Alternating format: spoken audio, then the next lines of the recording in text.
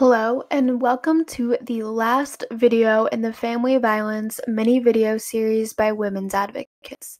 In this video, we will be discussing the different ways that you can help, safety tips and safety planning, as well as various resources in the community to lean on.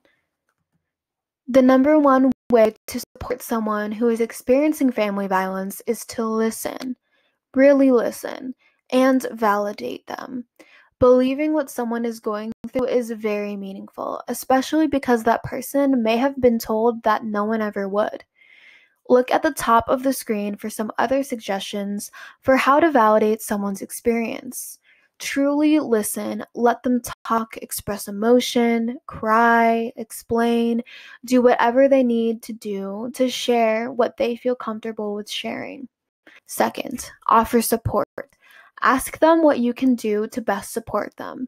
Maybe ask they want you to check in with them every week. Ask them what the best way to do this is. Remember that they are the experts of their experience and that you are there to collaborate with them. Third, provide resources. In the description box of this video and on www.wadvocates.org, there are so many resources, and these exist for you to provide them as options. When you show these resources to people mention them, make sure they know that they are just choices and different options that are available for them to use. It does not mean that they have to use them right away. And third, if they don't make a phone call right away, respect their choices and let them go on their own timeline when they feel ready and able. Forcing them to do is not helpful. Next, you can help them safety plan.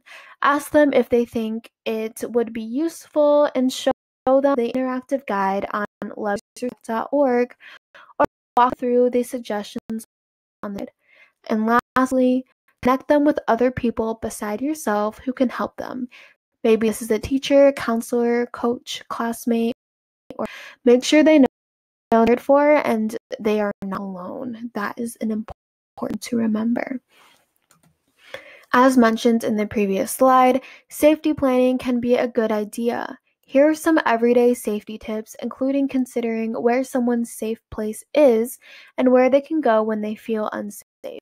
There are also suggestions on how to practice self care and little ways to remind someone of the things that make them happy or feel good. And last, there are some more. Be sure to check out the links in the description box of this video for more resources, including the How to Help a Friend or Family Guide. The hotline.org is national, so if you're not in Minnesota, that is an excellent resource for you. And they have a 24 hour confidential text and call line. There's also a post in the description box below, so please make sure that you submit that online Google form so we can see what you learned and if this video is beneficial for you. Thank you so much.